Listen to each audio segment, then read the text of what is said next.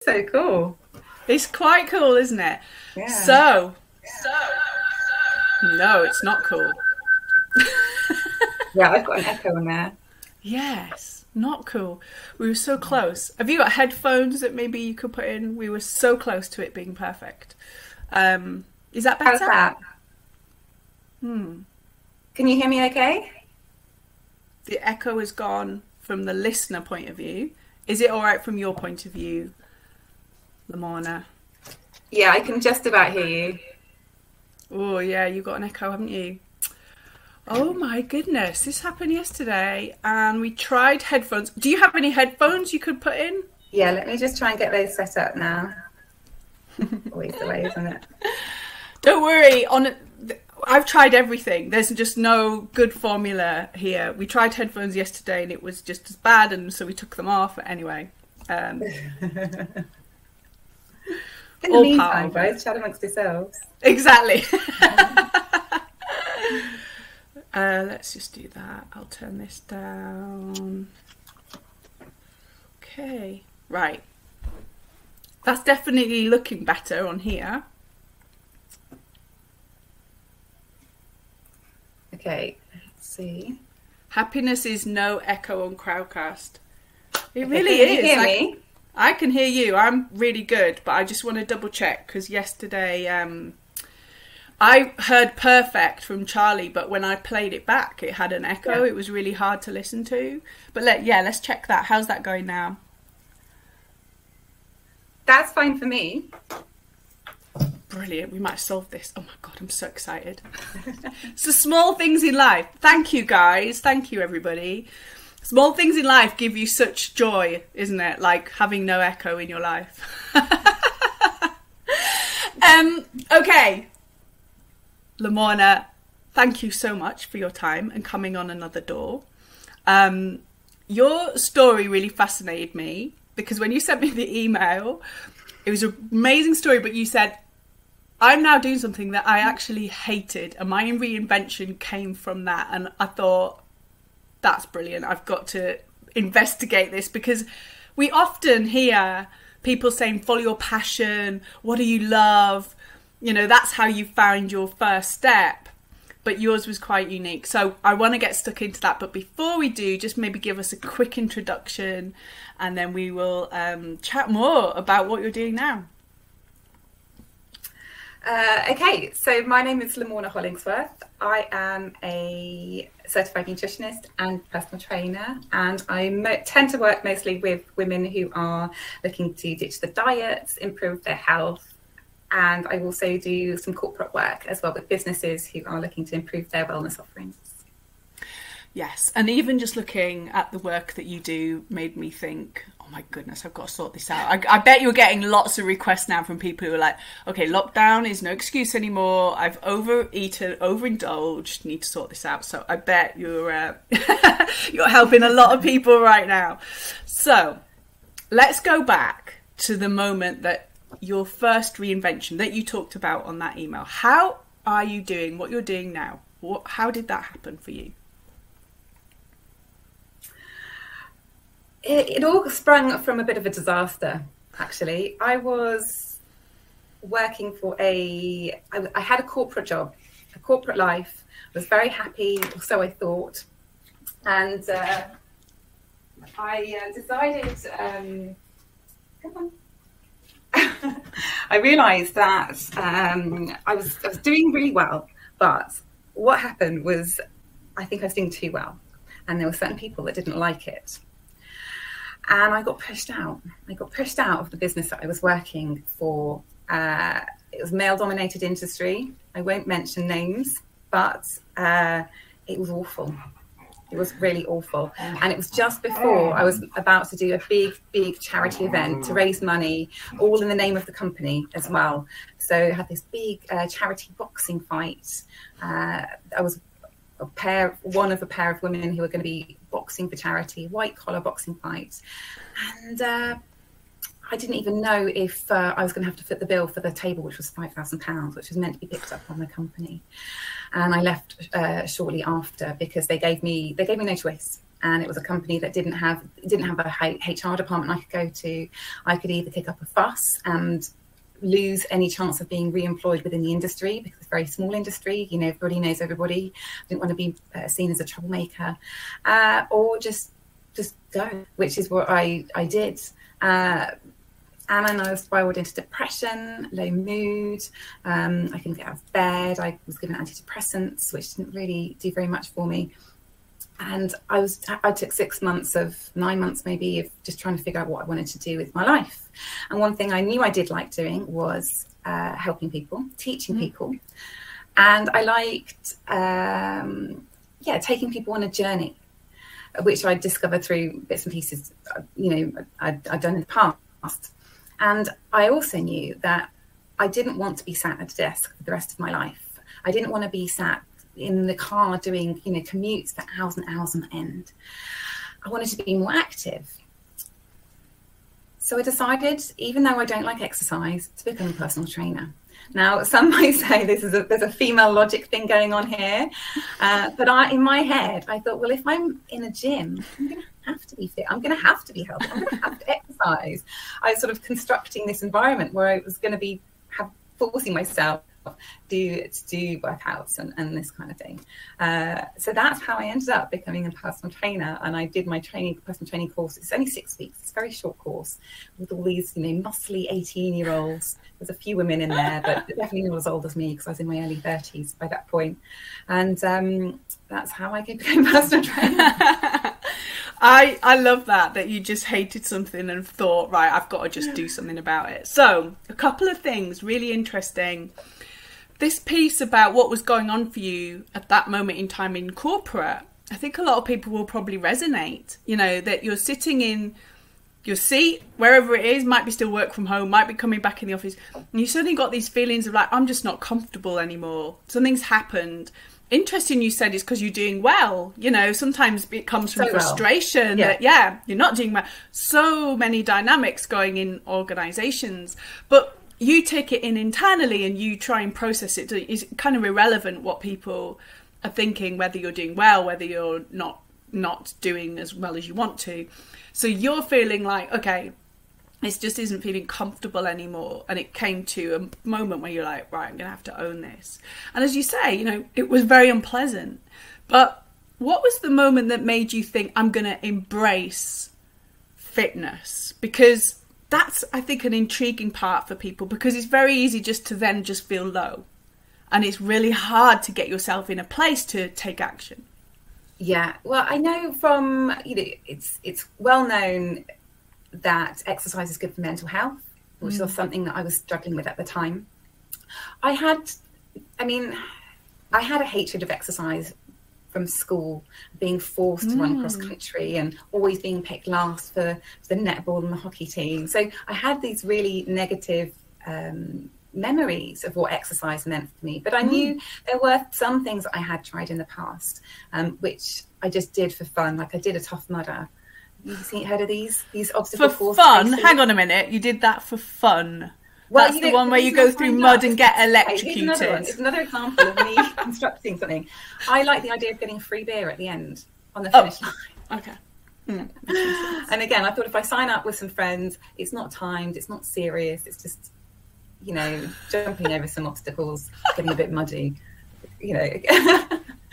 um, so, so yeah, that was kind of how I ended up with that. But the way I just like to describe essentially what you've just said. You know, there was an unhappiness. Mm. Um, I didn't know where I was going to be going, but I like to describe it as the job that I was in. It filled my bank account, but it left my soul empty.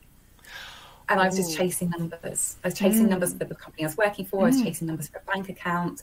Um, I was chasing numbers so that I could afford to get the nice car um, which you know because everyone, all the sales execs, we had nice cars, Porsches. I bought a Mercedes, an SLK, sports car, convertible, red leather, really nice. Now I drive a transit van. So. um, Does it have red leather though? um, so yeah, finding this sort of this draw of, of exercise of fitness it was more because I knew of the benefits it would be due to me sort of the short term, the mm. the longer term benefits I, I didn't want to be sort of stuck in the nine to five kind of mm. you know, Groundhog Day, where you're dreading uh, you know, you're dreading Sunday nights because a Monday means the start of a new week, work week. What gets to Wednesday and you're already thinking, oh, it's the middle of the week. Oh, Thursday tomorrow. And then it's Friday. You're chasing those Fridays. And essentially you're wishing your life away.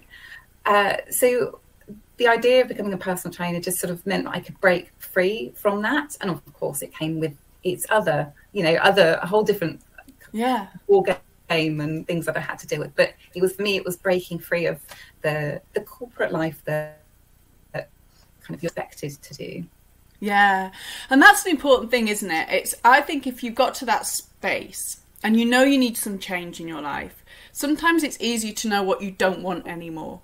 Like it's a good place to start. If you're just so aware of, I definitely just don't want these couple of things. So that's it. It's off the table. I'm just not yeah. going to do that. But you might have to compromise other things to to not get that. That's the point, isn't it? There's no I don't think there's any golden ticket. I don't think there's anything that you know people are going to come along and it's all this dream job where everything's fantastic. You're always going to have compromises.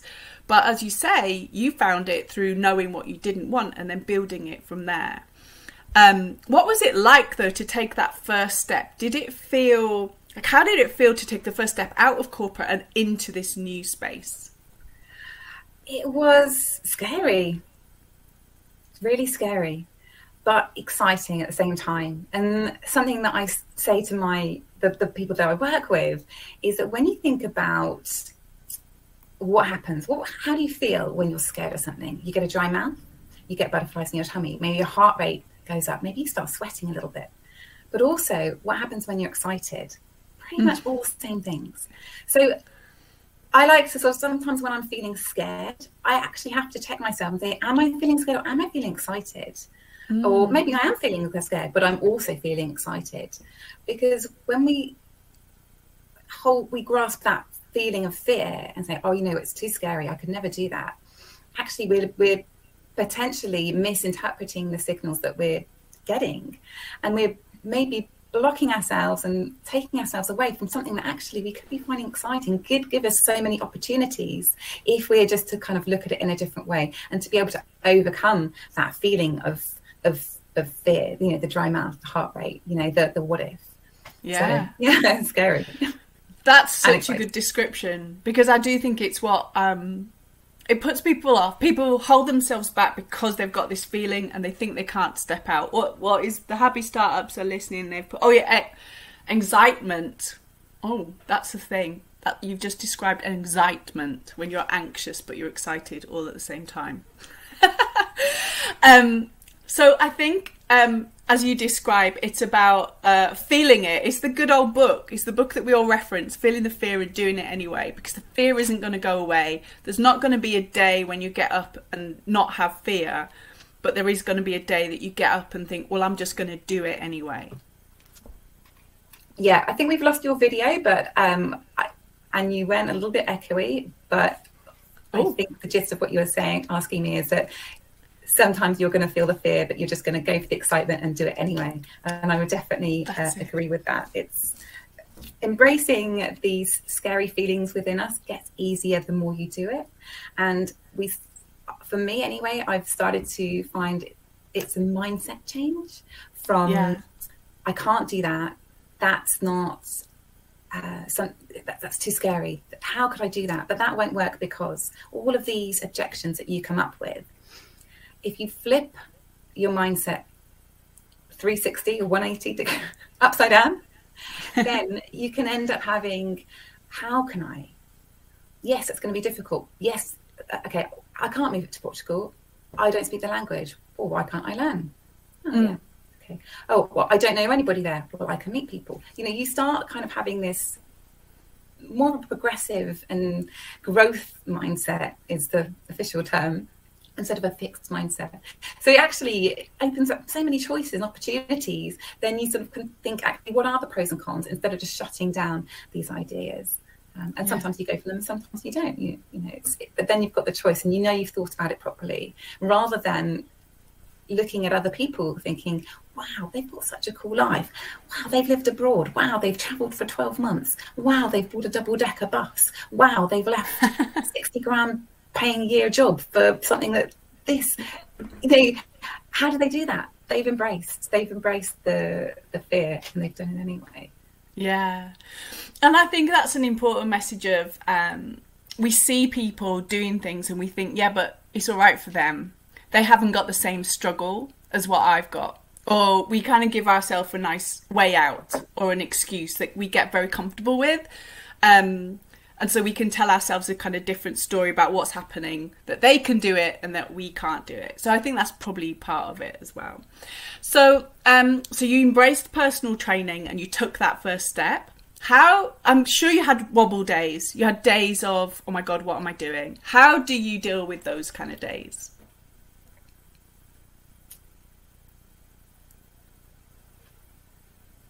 Do i keep losing you? Oh let me just come back have I lost you? I think the way to deal oh, no, with challenging days is just to focus on the task at hand. And for me, luckily, when I was personal training, I was dealing with well, not dealing with that sounds terrible. I had to deal with these terrible clients who wanted me to help them get fit and help them. Uh, How dare they? How dare they want to work with you? I, I, had amazing clients, and I still do. Uh, but actually, what I found was on those tough days, the reasons that they would be tough is because I could I I felt that I wasn't giving enough. I couldn't mm. fix all of their problems, yeah. which then led me into thinking, well, how can I? What's the what's the next uh, challenge for me? What's the next adventure for me? And how can I support my clients and get them better results? Because I'm seeing this person two, one, two, three times mm. a week in the gym. They're working really hard, lifting really heavy weights, but they're not losing weight. Mm. Typical example. One, they're losing weight, what, what they're doing with their food. And I couldn't advise them. Personal trainers aren't trained in nutrition. We get like an hour's training. In fact, GPs have less than five hours training on nutrition. So oh, wow. I thought, you know what? I need to do something about this because I can go onto Mr. Google and say, is fasting good for weight loss? Should should I go onto keto a keto diet for weight loss? You'll get six uh, uh, six opinions saying this, six opinions saying that. I didn't want to give my clients false information, so I thought, yeah. you know what, I need to retrain again. I need to do my nutritionist uh, qualifications and exams. So that's what yeah. I did. And that's what I love about the story. You're now evolving, you keep evolving yeah. with your clients and in the space and how you're feeling about something. And that's the point, isn't it? You don't have to have all the answers the first time you step out, but you mm-hmm. have to have this mindset that I'm going to grow with it, I'm going to keep developing, I'm going to be in this space now. Another point you made, really interesting about being good enough and I think um, certainly people I've worked with have not started something themselves because they've said, "Yeah, but who am I to do it? I I, I don't have the answers. I feel like I I'm worried I can't help people, and I'm not good enough." Um, how do you overcome that? How do you say, "Yeah, but I'm gonna try," or get into that space of being good enough? That is a hard one and that's for me personally it's an ongoing battle because it, it's the self-doubt isn't it it's the insecurity and i think for most of people they do find that they have a lack of confidence around themselves it's just the the way that we're built yeah and yeah. i feel that women specifically struggle with this more i experienced this from an early age because I am a university dropout. So I did my year at university and decided it wasn't for me. So I, I had I've carried that since the age of 19 that I didn't finish my degree. Oh, um, oh, wow. And I think all reminding yourself of why you're doing what you're doing when you if you're working in a service based industry like I am taking those little gem moments, those jewels where people say, Oh wow, you know, you've made such a difference to me. Or I come off a client call and they're like, you know what, I'm feel so much happier. You know, the beginning of the call they were in tears. I don't make them cry, by the way. Like uh, later. Uh, but you know, sometimes people just stress yeah. and they're like, you know, I really want to do more exercise. I really want to eat more healthily. And this week, there's just been a nightmare, and you know, they're in tears, and and we work through it. You know, we we get over it, and then by the end of it, I'm like, I'm buzzing, you know, because I've been able to help that person in so many ways, you know, uh, not just by telling them to eat more broccoli and kale and go and do some more steps. You know, I've really kind of got to the knot of the problem and we've worked through it. And uh, so taking that job satisfaction when it comes and remembering it. And actually, I've started doing this more recently, but um, almost like writing, making a list after um, of these little wins after the client calls because I can't remember the details of the conversation I had, you know, two weeks ago. So having these little wins that then I can tell people on social media or I can remind that person when I speak to them next, you know, last time, um, this is this is what you said, uh, or this is what we we discussed together.